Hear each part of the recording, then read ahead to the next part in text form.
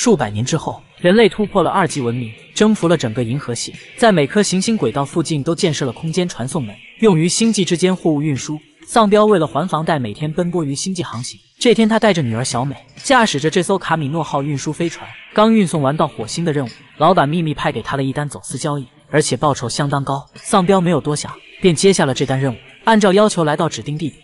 这是银河系里三不管地带，各种灰色交易都在这里进行。丧彪降落到指定地点，前来送货的是一个生化机器人。对方提出了一个诡异要求，不能检查货物，自己要全程跟着。丧彪本想拒绝，但想了想房贷，便签下了任务合同。可就在丧彪回到驾驶舱以后，感觉身体不适，怀疑那东西有一定危险性，便嘱咐女儿不要靠近那货物，而机器人就一直看着货物。生怕有人打开，偶尔还会到一边抽个东西。机器人这操作也是简直了。就在这时，机器人似乎察觉到了飞船出现异常，便小心翼翼地过去查看，却不料飞船直接将机器人关闭在了另外的舱门中。原来是飞船进入了地球轨道附近，正进行轨道切换。而就在这时，丧彪突然感到一阵头疼，还差点与其他飞船相撞。幸亏小美及时纠正了方向，成功飞入正轨。眼见丧彪晕厥过去，小美只好独自前去排查故障。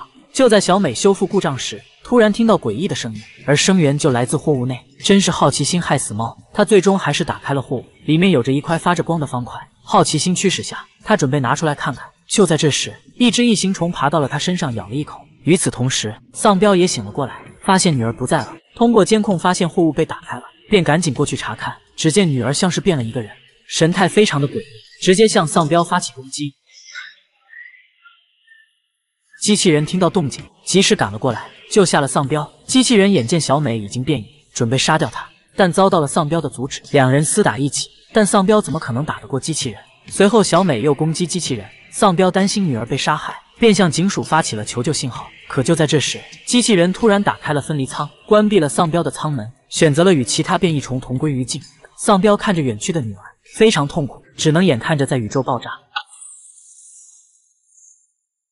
化作无数碎片掉落地球，而那些变异虫或许也会因此降落地球。一场异形灾难即将来临。